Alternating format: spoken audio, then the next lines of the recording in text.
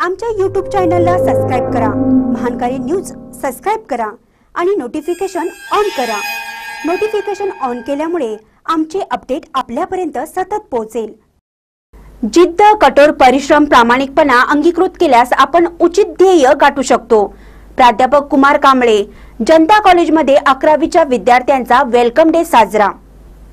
प्रत्येक विद्यार्थ्याने आयुष्यात उचित ध्येय गाठण्यासाठी प्रयत्नाची पराकाष्ठा केली पाहिजे.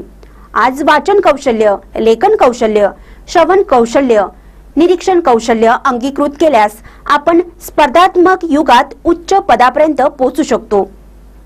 त्यासाठी जिद्द प्रामाणिकपणा प्रयत्नाची पराकाष्ठा करणे गरजेचे असल्याचे प्रतिपादन इचलकरंजी येथील प्राध्यापक कुमार कांबळे यांनी व्यक्त केलं. हुपरी येथील जनता माध्यमिक कला वाणिज्य व विज्ञान कॉलेजमध्ये अकरावीच्या विद्यार्थ्यांच्या वेलकम डे कार्यक्रमाप्रसंगी शालेय शिस्त व सुसंस्कार या विषयावर प्रमुख वक्ते म्हणून बोलत होते. अध्यक्षस्थानी संस्थेचे संस्थापक चेअरमन अण्णासाहेब शेंडुरे हे होते.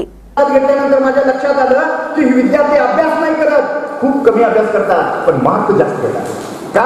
कारण त्यांची मानसिक ताण शिस्त खूप छान उदाहरण सांगतो जर तुम्हाला कोणत्याही स्पर्धेमध्ये पहिला नंबर यायचा असेल तर फक्त चार कौशल्य अवगत करा. आणि वर्गामध्ये कुठल्याही परीक्षेमध्ये पहिला आहे. ही मुलं पहिला नव्वद टक्केच्या वर जो मार्क्स घेतो आणि चाळीस टक्केच्या वर जो चाळीस टक्केपर्यंत ज्याचे मार्क असतात याचा आम्ही अभ्यास केल्यानंतर माझ्या लक्षात आलं चाळीस टक्के मार्क्स घेणारा विद्यार्थी पहिला नंबर नव्वद टक्के मार्क्स घेणाऱ्या विद्यार्थ्यापेक्षा तीन पटीन अभ्यास जास्त करतो. तुमची मोठी बहीण असेल किंवा तुमची मोठी बहिणी असेल कोण असेल तुम्ही येताना पाया पडून या.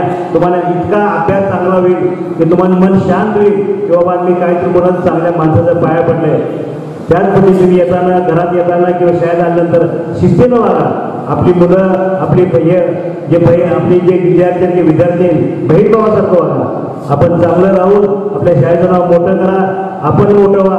आणि आपण जीवनामध्ये आपण यशस्वी व्हा. सांगण्याचा उद्देश हा आहे.